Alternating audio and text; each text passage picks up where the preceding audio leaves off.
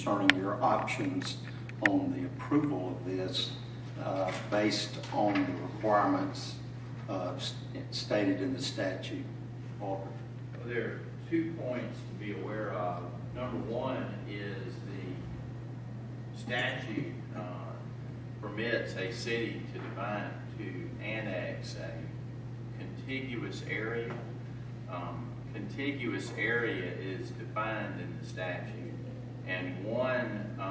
portion of the definition is that the entire parcel or parcels of real property owned by the person seeking annexation is being annexed. Uh, And then it goes on to say that lots shall not be subdivided in an effort to evade the requirements of this paragraph. Uh, And Jason, is it correct that they are proposing to annex something less than the entire parcel? Yes, sir. We have, uh, this is probably around 107 or 127 acres. They're only proposing to annex 10.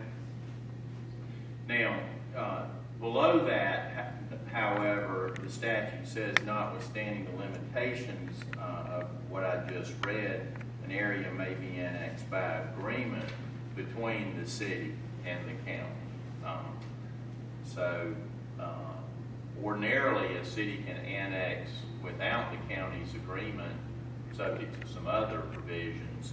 But here, given the uh, uh, definition of contiguous area, um, you could uh, permit it to be annexed by agreement, even though it's not the entire parcel.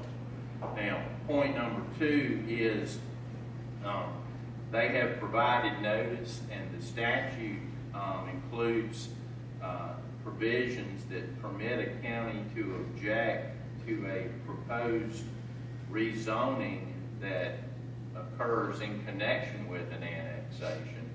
Um, And um, the grounds of the rezoning um, uh, may be any of the following. The proposed change in zoning or land use, proposed increase in density and infrastructure demands related to the proposed change in zoning or land use. Um, And uh, for these to apply, there must be a substantial change in the intensity of allowable uses on the property. Um, So, uh, that's a second independent basis on which the law permits an objection if a proposed change in zoning is problematic to the county because of the uh, density and or infrastructure demands placed upon the county.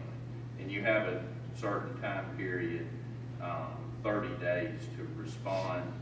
And I believe Jason said the notice was received one day last week, so you're obviously well within thirty days. All right, thanks, sir.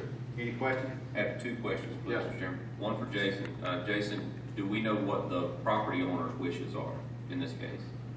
No, I- I've only communicated with the city and gotten their application materials, but I can tell you that application, even though they're working through, um, Mr. Brown, does have the property owner's signature on it. Okay. Um, So I've only communicated at that level, I haven't gone down to the property owner level. Okay, second question.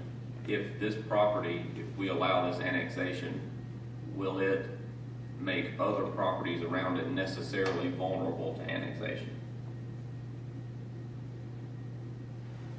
In other words, will, Well, will, will allowing annexation of this piece of property in any way affect any other surrounding properties' potential annexation where it would not have that potential now? Um, Other than the fact that if this were annexed, the remainder of the parcel would be contiguous, so the Okay. remainder of the parcel could be annexed as contiguous property. Okay. Any annexation of property must be contiguous to the city. Okay. Um, But the remainder could annex, be annexed as part of a larger contiguous parcel already, if that makes any sense to you.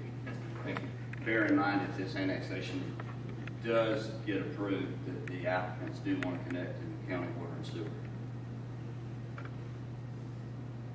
which is right there on the edge of the property. Any other questions? Okay. Hearing none.